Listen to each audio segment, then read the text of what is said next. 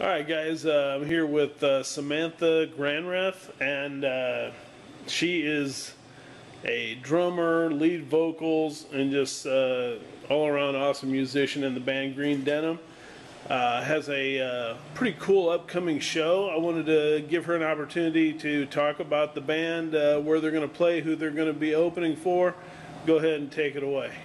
So I have really exciting news. My band Green Denim just booked um, a hole, another hole in the wall in Steger, Illinois.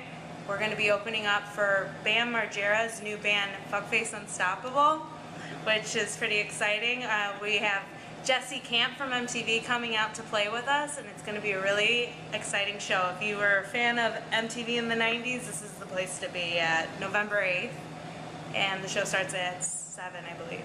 All right, and will people prior to the show will they have an opportunity to hear any clips of your band or anything online, or will it not be available quite yet?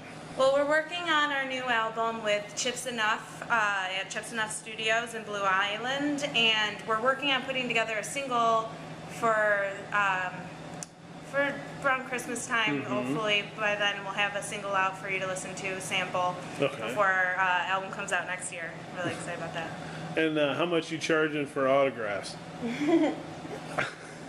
Uh, you can get us. You could get a. You you could get it uh, for real reasonable.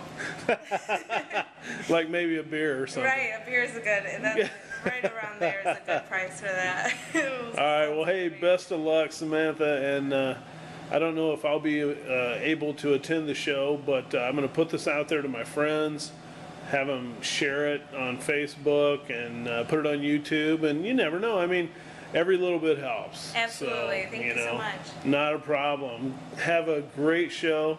And hopefully have somebody do a little videoing if you can, so we Yeah, can get a little bit of that. If I can make it, I'll shoot some pictures for you and do some stuff like that. So, all right, peace out.